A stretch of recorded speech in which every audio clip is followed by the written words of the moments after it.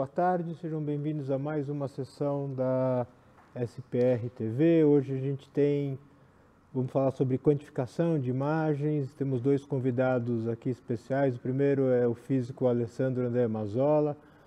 O Mazola ele é bacharel licenciado em física pela PUC do Rio Grande do Sul. Também tem o mestrado em ciências radiológicas pela Universidade Federal do Rio de Janeiro é especialista em física do diagnóstico pela BFM e tem uma contribuição muito grande na área de educação com a plataforma MRI Online, Protocolos de Education. Obrigado, Mazola, por ter vindo aqui. Para a gente é uma satisfação.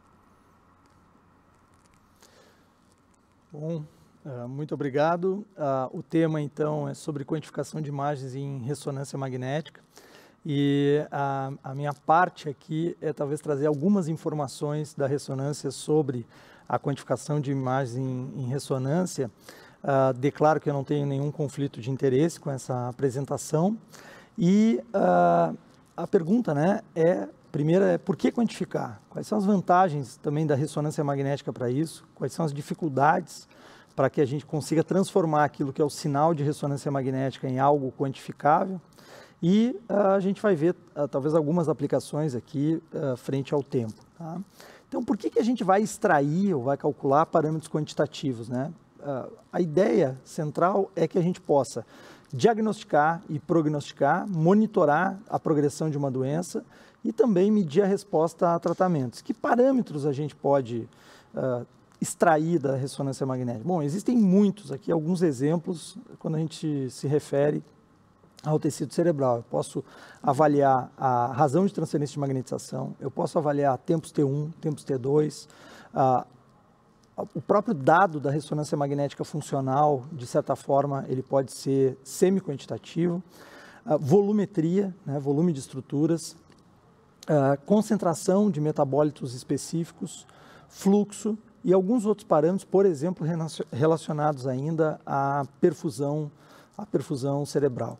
Então, uh, as vantagens da ressonância magnética sobre outros métodos uh, envolvem a maior disponibilidade, né? cada vez mais a gente tem disponibilidade de equipamentos de ressonância magnética, não vai utilizar radiação ionizante, então, inclusive o sequenciamento, a, a, a volta né, de, um, de um mesmo paciente para realizar mais procedimentos, ela se torna, uh, não se torna um problema em relação a outros métodos, como o PET ou como a tomografia.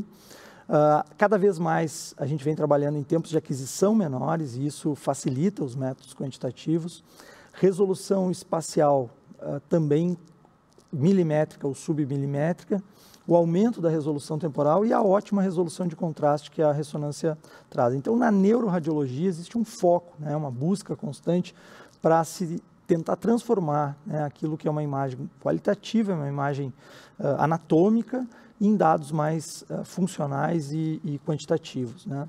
Uh, já citei né, esse, eh, essas aplicações e acho que é importante a gente entender né, uma diferença aí. Né? Quando a gente está falando de tomografia computadorizada, cada pixel da imagem da tomografia computadorizada é resultado de um cálculo que envolve a chegada da radiação ionizante ao tecido e a passagem dessa radiação do raio-x através do tecido que vai levar a uma estimativa, pixel a pixel, do grau de atenuação. Então, a gente pode correlacionar diretamente né, o, o sinal, a imagem que a gente tem uh, na tomografia com o coeficiente de atenuação ou os números de TC. Então, a, a tomografia, por origem, ela já se baseia num processo comparativo e que se torna aí quantitativo. Quando a gente utiliza imagens que, no, no, fundo dessas imagens, a gente tem um dado quantificável, a gente pode chamar essas imagens de mapas. Né? Agora, na ressonância magnética, como eu estou transformando um sinal, e esse sinal tem uma dependência de vários fatores, eu começo a ter uh, uma característica muito mais de variação do sinal e de distribuição do sinal do que realmente num dado num dado quantitativo. Então, só trazendo um exemplo aqui de 1973 do Hausfield, numa própria impressão de uma imagem de tomografia aí com alguns números, né, aquilo que foi impresso e aquilo que foi calculado, né, então aquilo que está por trás de cada pixel, né, que compõe então esse mapa. Bom, uh, trazendo o exemplo aí do tecido cerebral, a gente poderia né, falar de suscetibilidade, grau de suscetibilidade magnética do tecido, o próprio dado da difusão, da, parâmetros relacionados à perfusão, à espectroscopia, entre outros. Né? Uh, lembrando né, que para determinadas patologias pode ser interessante avaliar ao longo do tempo uh, determinados parâmetros quantitativos que permitam que se uh, tenha uma estimativa aí do grau de evolução de alguma doença, mas também de forma qualitativa, né, é possível e é feito isso né, no dia a dia da ressonância, utilizar mapas e informações uh, que podem ajudar também ao médico radiologista uh, na, na, no diagnóstico né, de, desses, desses casos. Lembrando que o processo físico né, da, da, ressonância magnética envolve né, a coleta de um sinal e a transformação desse sinal, através da transformada inversa de Fourier, em uma imagem. Então, o, a, a, nossa base de trabalho na ressonância é o sinal coletado pela bobina e esse sinal depois tratado.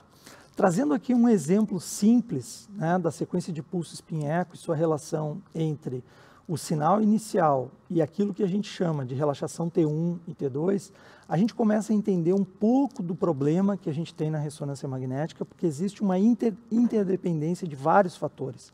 Inclusive, de forma mais simples, vou passar aqui o próximo slide, a gente tem um fator de ganho no ajuste de cada aquisição que a gente vai fazer, de cada paciente que envolve uh, uma, uma estimativa feita no momento que aquele paciente está dentro de uma determinada bobina e dentro de um determinado equipamento. Então, para que a gente tenha né, uma relação direta do sinal coletado com algum parâmetro físico, isso se torna muito difícil. Isso que a gente nessa, nessa rápida análise aqui, a gente está desconsiderando vários outros fatores que estão acontecendo, como fluxo, difusão, transferência de magnetização, no próprio dado que a gente está coletando. Então, a conclusão é que o sinal nas imagens, né, ele não se relaciona diretamente com um único parâmetro físico. A aquisição e processamento das imagens devem ser consideradas juntas. Né? Então, é muito importante que, os, o, a partir do momento que a gente deseja utilizar as imagens de forma quantitativa, a gente tenha domínio né, sobre todo o processo de coleta do sinal, desde o correto posicionamento do paciente e do tipo de bobina que vai estar sendo utilizado, inclusive para questões relacionadas, por exemplo, à uniformidade da distribuição da radiofrequência, o correto ajuste da frequência central, os ajustes de transmissão que vão acontecer, a homogeneidade do campo magnético principal, isso tem uma, um fator preponderante se eu quero extrair dos dados, por exemplo, informação geométrica, como o caso de volumes, né? e, o, e o ajuste depois da recepção né, desse sinal de radiofrequência. É muito importante que a partir do momento que a gente busca uh, trabalhar com quantificação, a gente estabeleça uma rotina de testes de controle de qualidade específicos, que podem incluir dispositivos uh, fabricados para isso, que a gente chama de phantoms, ou também usar a, a, próprio, a própria base, por exemplo, de controle de pacientes, periodicamente sendo avaliada para ver se existe algum desvio uh, da normalidade causado no, no, no próprio tecido, né, no próprio método de avaliação. Diferentes bobinas vão produzir diferentes efeitos e vão nos permitir acelerar ou ter mais uniformidade de sinal, então é muito importante que isso esteja bem estabelecido. Uh, o posicionamento uh, do paciente pode interferir em análises comparativas, então é muito importante que os dados sejam processados de uma forma que a gente possa trazer para uma base comum, né? então um alinhamento do tecido cerebral aí para um sistema uh, de, de alinhamento desses dados, né? Então, aí transformações que vão acontecer para dois diferentes momentos, por exemplo, que um paciente vem realizar um exame que a gente consegue, então, uh, ajustar esses dados para ter uma mesma visualização, um, uma, uma, intercomparação. Né? Bom, uh, a, a, parte da homogeneidade de campo, quando a gente deseja fazer medidas mais geométricas, ela se torna muito importante, porque não só pela influência do próprio tecido na homogeneidade do campo, então vejam aqui um exemplo do, do próprio tecido cerebral, eu tenho regiões onde está mais claro ou está mais escuro, e isso são variações locais do campo magnético. Então, o próprio tecido do paciente altera a homogeneidade local do campo. Uh, e isso pode nos levar a áreas que podem estar relacionadas, por exemplo, à presença do ar, a presença de algum artefato metálico, Uh, e aí, muitas vezes, essas regiões elas precisam uh, ser desconsideradas em algumas análises para que elas não interfiram né, nos dados de forma significativa. As variações que a gente vai utilizar de campo magnético durante a aquisição também vão uh, gerar né, uma, uma. É necessário que elas tenham uma linearidade na sua aplicação, porque senão elas podem levar a distorções geométricas bastante importantes.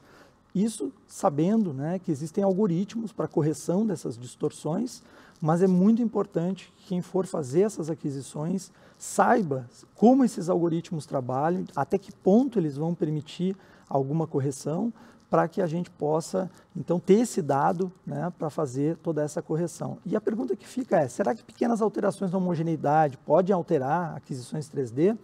Então, colocando aqui né, uma, um voluntário, a gente pode aí fazer uma comparação visual entre os dados, né? não, não me parece muito, uh, muito uh, igual essa comparação, mas o ideal sim é a gente utilizar para isso então um Phantom e fazer, o, por exemplo, aqui uma verificação com e sem correção de distorção. Então veja que quando se faz a subtração de dados não corrigidos, a gente começa a ter diferenças que podem estar da ordem de 1,5 pixels. Isso é muito, né? muito para aplicações quantitativas. Então é muito importante que a gente conheça isso, saiba né, no nosso equipamento como é que isso se comporta, para, por exemplo, no caso da volumetria, que a gente tenha esses dados bem mapeados para que não se cometam erros nesse processo de aquisição.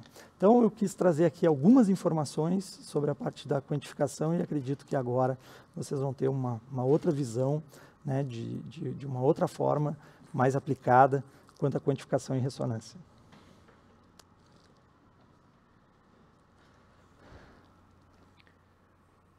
Dando sequência à nossa sessão da SPRTV é, de quantificação de imagens, nós vamos falar sobre o impacto da quantificação em ressonância. Trouxemos aqui o Dr. Fábio Augusto Ribeiro Dalpra. O Fábio ele é graduado pela Faculdade de Medicina da Universidade de São Paulo, fez também residência no Instituto de Radiologia do, do Hospital das Clínicas, aqui em São Paulo, e tem atuado junto ao Hospital Israelita. Fábio também é doutorando, terminou o doutorado uh, na USP São Paulo. Fábio, muito obrigado por você ter vindo e atendido mais esse convite. Eu agradeço o convite de poder estar aqui, poder é, é, participar mais uma vez é, desse módulo de medicina quantitativa e reconstrução de imagens, que é, tem tido palestras muito interessantes. Né? É, acabamos de sair de módulo vascular e à tarde teremos um módulo de abdômen, é, com nomes ba bastante importantes. E eu queria então colocar um pouquinho também da visão do radiologista de nossas imagens quantitativas. Né? Então, o, o que é uma imagem quantitativa? Uma imagem quantitativa é transformar a informação capturada em uma imagem em dados objetivos que podem ser mensurados e quantificados e que podem ser reproduzidos. Mas, na realidade, no nosso é, é, objetivo é, é o nosso esforço de sair do plano de somente ter uma impressões subjetivas sobre um exame e conseguir critérios diagnósticos com é, poucas diferenças intra e entre observadores e que possam tornar as nossas avaliações mais precisas a gente traçou um, um, longo caminho desde que os nossos exames eram impressos em filmes e mensurados é, em régua. É, nós é, passamos por um, um, um, plano digital e estamos é, é, é, desbravando a realidade virtual na, no, no, na polpa desse barco. Né? A radiologia está levando em frente o, o, esse caminho né? entre as outras áreas da medicina. É, considerando a tomografia computadorizada, é, nós temos, é, podemos considerar que a, tom, é, que a, tomografia ela sempre foi um método quantitativo em sua essência, desde que o Sir Gottfried Hounsfield criou a escala que recebeu seu nome em 1972, onde ele determinou que o ar vale menos mil unidades Hounsfield e a água vale é, zero, com o osso valendo mil unidades Hounsfield.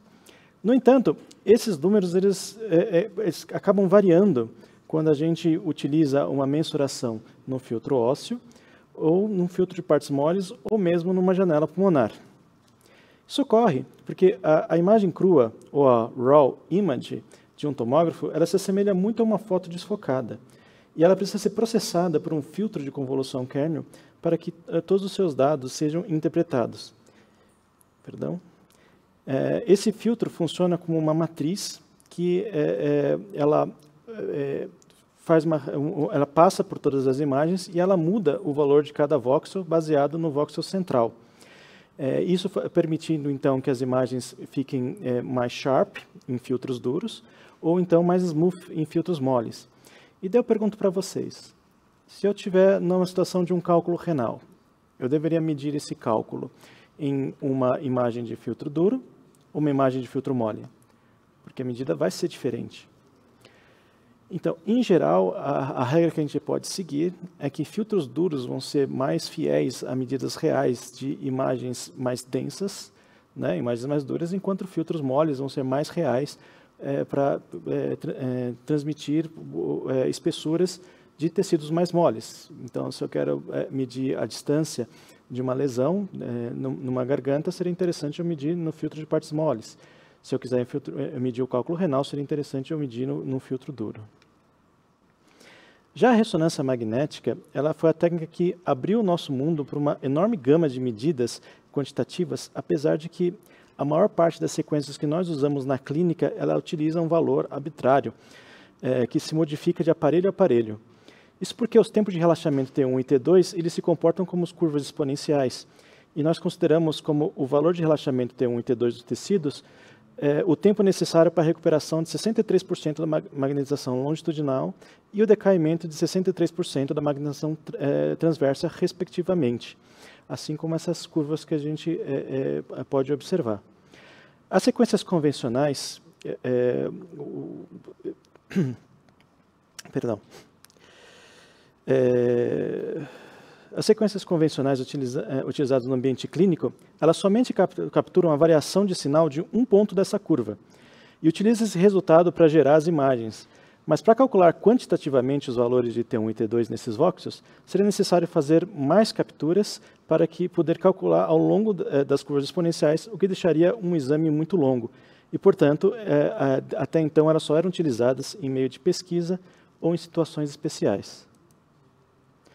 Entretanto, novas técnicas que, eh, de se fazer ressonância magnética tornaram essa mensuração bem mais dinâmica, como o fingerprinting e as sequências sintéticas, que ao fazer o cálculo ao mesmo tempo do tempos T1, T2 e a decimetrometria de prótons além do campo B1, permitem reconstruir várias sequências em uma única captura, é, em uma única captura, então, a gente é, vê aqui um exemplo de uma, uma dessas sequências. É a sequência 2D Fast Spin Echo Multidinâmica Multi-Echo, ou MDME, que ele resolveu a mensuração de T2 para uso clínico. É, T2 é uma curva monoexponencial. Essa curva ela praticamente tem duas propriedades. Ela tem um ponto de início no eixo Y e a sua curvatura. Matematicamente, seria possível calculá-la somente com dois pontos. No entanto, em ressonância magnética, é preciso se considerar o ruído, por isso, muitos advogavam capturar entre 16 e 32 pontos nessa curva para você poder calcular uma curva T2. No entanto, se você considerar que o seu tempo de captura de exame ele é limitado ou ele é fixo, é, é, seria melhor você usar todo esse tempo de exame para capturar somente dois pontos, do que dividir o tempo que você tem em 32 para capturar 32 pontos, porque isso aumentaria o desvio padrão do, do erro desses pontos em quatro vezes. Então, considerando o, o, menor tempo de captura, capturando dois pontos, você acaba é, é, tendo um ruído bem menor nesse tempo e conseguindo chegar muito mais próximo da curva, que, é, que, seria a sua curva T2, do que se você capturasse todos os outros pontos e tivesse um ruído muito maior em cada um desses pontos. É, além disso, essa sequência ela, ela utiliza, é, ao mesmo tempo que ela está fazendo captura de um, é, um, um, um momento, um slice no exame, em outro slice, ela está eh, lançando um, eh, um, pulso de saturação de 120 graus, já fazendo a saturação desse slice. É, dessa forma, ela consegue fazer uma captura contínua, em que o, o padrão dessa é, captura vai ser a, a, a diferença de tempo é, ou de espaço do slice que está sendo capturado e o slice que está recebendo o pulso de saturação. Daí, então, essa técnica utiliza é, passa quatro vezes esse, o, essa medida é, com, com esses pulsos com diferentes distâncias de slice esse pulso e com isso ela consegue é, fazer oito imagens diferentes. Né? É, e com essas oito imagens diferentes, ele consegue fazer os cálculos é, é, de T1, T2, densidade de prótons e a amplitude do campo B1, seguindo esse algoritmo. E, é, e, aqui então a gente tem essas é, oito imagens que foram capturadas nessa sequência e os mapas que foi possível capturar a partir dela. Como você tem definido então os seus valores, você consegue é, calcular como vai ficar o seu mapa baseado no, no, nos tempos de eco e tempo de repetição que você deseja. E até mesmo incluir tempo de inversão na captura. Isso permite gerar é, mapas quantitativos é, dessas propriedades físicas e permite uma comparação mais robusta das mudanças dos tecidos do que as escalas arbitrárias que as ressonâncias é, convencionais permitem, uma vez que os, é, é, esses valores são conhecidos. E é possível utilizar a, a variação da mesma equação para gerar as imagens sintéticas é, cujos baseados nos valores de TE e TR que você deseja.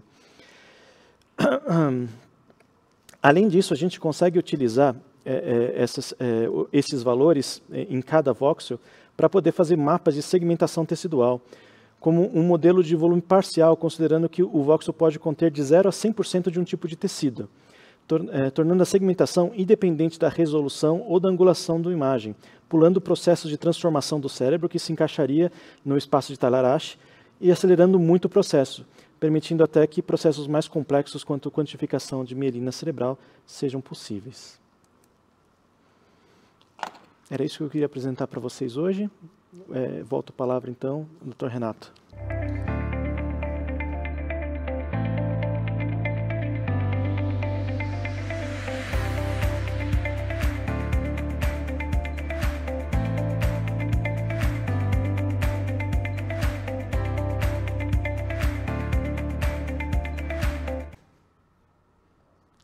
Nós estamos aqui na é, sessão de quantificação de imagens. Tenho aqui ao meu lado o Fábio Dalprai, o Alessandro Mazola. Nós estamos falando sobre quantificação de imagens.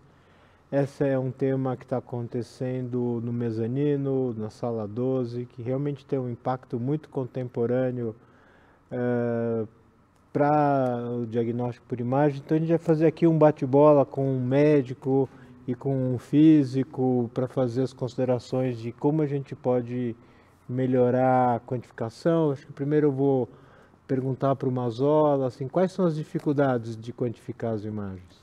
Bom, eu acho que, como foi mostrado agora, muito boa aula, né? foi, foi muito bom de, de ver isso, né? principalmente de um, de um médico falando sobre isso, né? porque a gente tem sempre esse desejo, né, do ponto de vista da física, de transformar as coisas, no, a, a, os dados da ressonância numa coisa mais útil, né? E, e, eu acho que assim, é, os desafios são grandes porque, uh, apesar da gente hoje ter metodologias uh, bem, uh, já bem desenvolvidas, muitas vezes não se tem o desejo né, de se implementar isso numa prática clínica, por exemplo. No ambiente de pesquisa é um pouco mais fácil, né, quando a gente consegue ter algum projeto, mas trazer isso para a prática clínica, é, eu posso dizer assim, as coisas melhoraram né, de um tempo para cá.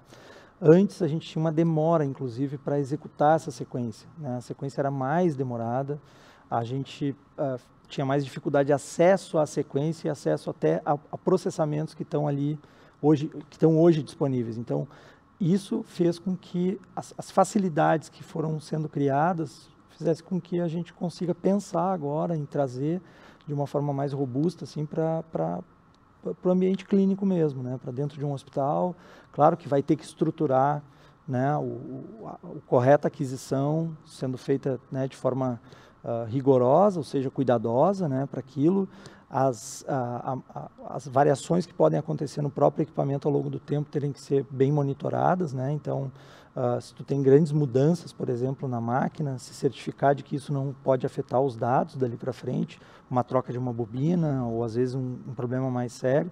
Mas eu vejo que, que hoje mais simples de ser feito isso, mas ainda com uma elencando, né, uma lista de, de cuidados uh, para que a coisa aconteça correta, né? Mas, uh, mas mais simples hoje. Vou passar a bola para o Fábio. Fábio, você como médico, pesquisador, quais são esses desafios para a comunidade de radiologia de quantificação? O que, que você acha? Muito interessante. Né? É, é, bem, o, os, os, desafios agora é a gente acompanhar o, o, grau de que com essas tecnologias estão chegando.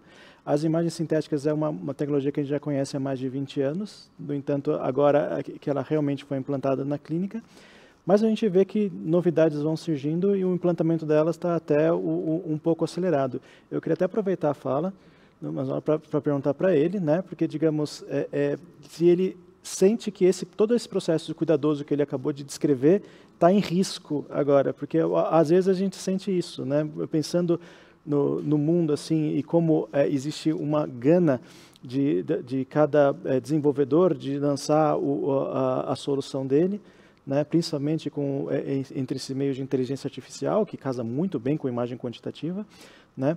Se é, ele está vendo assim que é, é a, a, parte da física tem que estar tá defendendo o, o, o, seu ponto para que é, esse produto não chegue numa qualidade inferior até a gente radiologista, porque muitos de nós não vamos ter o, um, um, bom senso crítico para saber se a gente está recebendo uma, um, uma coisa com o cuidado que antigamente, certamente a gente tinha certeza que tinha. Exato. É, eu eu vejo isso. É, é a, existe uma certa competição, né? No, no uma, uma, competição que é, é, ela vai acontecer porque tu está ali muitas vezes o que a gente está fazendo, né? Tu pensa em fazer uma, algo quantitativo, mas ele está encaixado numa rotina de atendimento e, e, daqui a pouco o mesmo caso não pode ser tratado da mesma forma, né? O, casos diferentes têm que ser tratados de formas diferentes. Ou seja, se eu chego num determinado paciente ou num determinado uh, cérebro aí que se queira fazer a quantificação. Uh, aquilo não é um exame comum, né? Eu tenho que tomar certos cuidados, eu tenho que, por exemplo, ter orientações bem mais específicas sobre movimento, sobre posicionamento, né? Sobre alguns cuidados que vão levar à certeza de que o básico está tá, tá bem feito e, e não está me gerando algum dado uh, maior, dado ruim maior. Agora, uh, me preocupa um pouco, é, é, é, claro que eu entendo que, por exemplo, na questão da, da, da sequência, essa sequência multiparamétrica da, que foi falada aqui, ela já tem uma coisa um pouco mais fechada, assim, né, no seu, na, não, não é tão possível mexer em tantos parâmetros, né, alterar esses parâmetros, porque isso é uma, é uma dificuldade, né, muitas vezes tu estabelece um protocolo clínico quantitativo como eu trabalhei, por exemplo, com transferência de razão, razão de transferência de magnetização. E quando vinha esse paciente para fazer a análise quantitativa da razão de transferência de magnetização, não podia mexer em nenhum parâmetro daquela sequência. E a gente sabe que é do hábito de quem está operando o equipamento, muitas vezes olhar para um determinado parâmetro onde ele enxerga uma folga, por exemplo, no tempo de repetição, ele vai lá e quer mudar. Ah, eu vou botar no mínimo, porque é o mínimo que a gente deve executar. Não, mas para esse caso é muito importante que tu mantenha os parâmetros que estão ali, porque eu quero que isso se reproduza ao longo do tempo, né? Então, eu vejo o risco muitas vezes é do, é do querer fazer rápido, né? E de acelerar. E também a caixa preta, que às vezes se torna a inteligência artificial.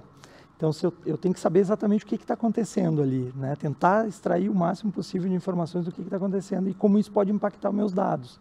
Né? Se aquilo daqui a pouco está sendo ótimo para reduzir um tempo de aquisição de uma sequência, mas daqui a pouco para pequenas alterações ele chega a afetar pequenas alterações que eu quero ver, talvez eu tenha que voltar um passo atrás, maneirar um pouco, né? reduzir um pouco o uso de determinados aceleradores para poder medir o impacto. Então, uh, eu, eu, eu gosto, né, pelo menos, de uh, extrair o máximo possível de informações pré- iniciar algum estudo mais longo para que a gente tenha certeza né, de, de, quais são os caminhos ali que tem que se tomar mais cuidado ou, ou uh, enfim, ter certeza da, daquilo que pode impactar né, nos valores. Então, eu acho que é por aí.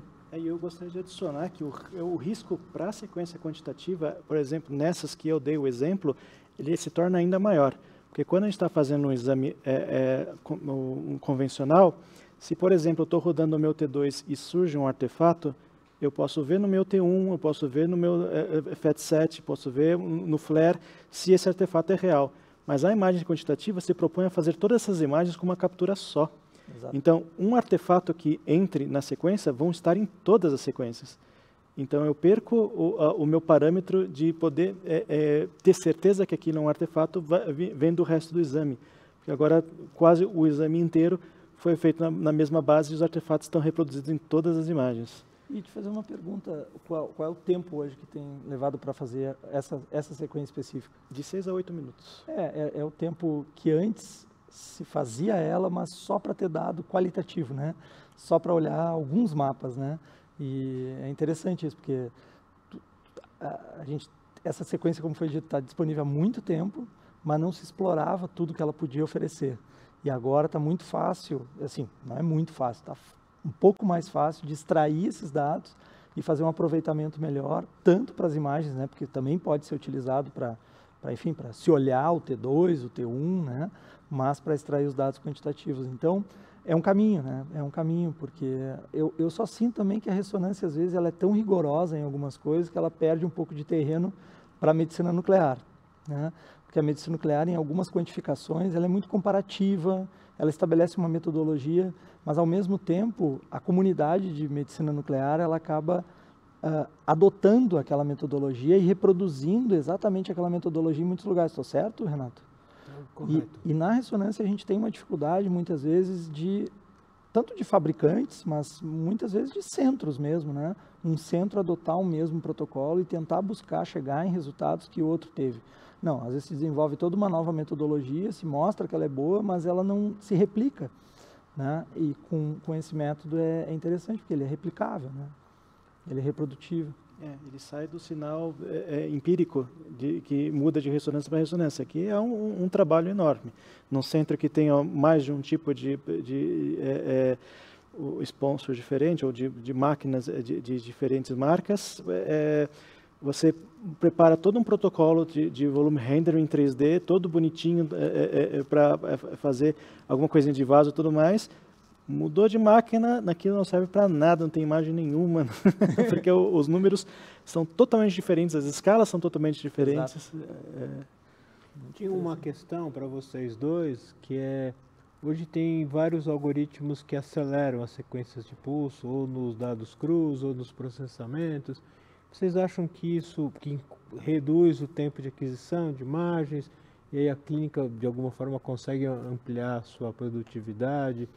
Você acha que para a quantificação isso corre um risco de você acelerar muito e daí perder informação efetivamente?